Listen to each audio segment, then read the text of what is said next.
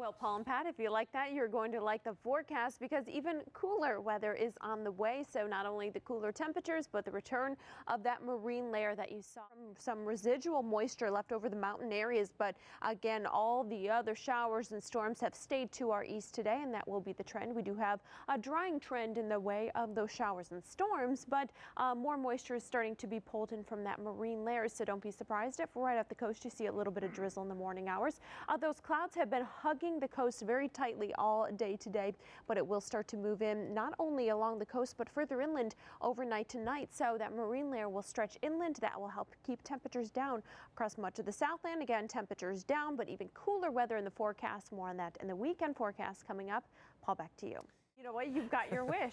You're you've got magic because right. uh, the monsoonal moisture is being banished. Uh, uh, we're doing away with that, but we are seeing moisture from a different form coming in from the ocean, the marine layer, uh, even bringing a little bit of drizzle across the coast and areas in Orange County today. But boy, oh boy, what a beautiful day uh, this afternoon into the evening hours. We've got nice sunny skies from the coast inland, a gorgeous shot in Long Beach, and uh, we are all now dealing with much more comfortable temperatures from the coast inland. Uh, we're actually running below average, and that trend will continue, getting even cooler over the next few days. So uh, enjoy it out there. Again, we will see the clouds and the fog in the morning, and that will even stretch inland overnight tonight through tomorrow morning. So it'll be kind of a cloudy start to tomorrow. Uh, but temperatures today well below average. Downtown, we made it to 79. The normal high is 84. So uh, temperatures should be even cooler in many areas by tomorrow. In fact, take a look at some of the highs for tomorrow. Oxnard 71. Take a look. Burbank uh, the last few weeks, remember uh, 90s and triple digits, 82 for the high there tomorrow, 79 in Long Beach.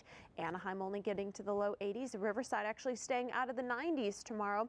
And Newport Beach, nice, comfortable 74 degrees. So temperatures at the coast at this hour 69 in Malibu, 73 in Laguna, uh, 80s further inland, 75 in the basin. Uh, winds are coming in out of the south and west between about 5 to 15 miles an hour. So we've got a nice breeze out there. A little gusty at times, but below advisory levels for now. And the radar showing mostly dry conditions. That monsoonal moisture that Paul and Pat were talking about, uh, that has stayed well to our east for today, and that will be the trend. What happened uh, was a ridge of high pressure started to drift a little more to the east along with that uh, upper level low that we saw yesterday.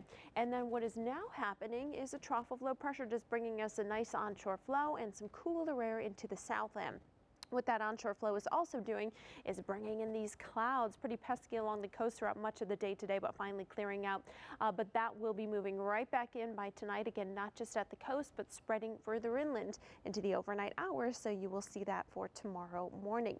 Uh, so in the meantime, we will see some morning fog clouds out on the waters tomorrow. And of course, along the coast, you, you'll notice that the clouds will stick around throughout the first half of the day, but it will clear up all the way to the beaches by tomorrow afternoon.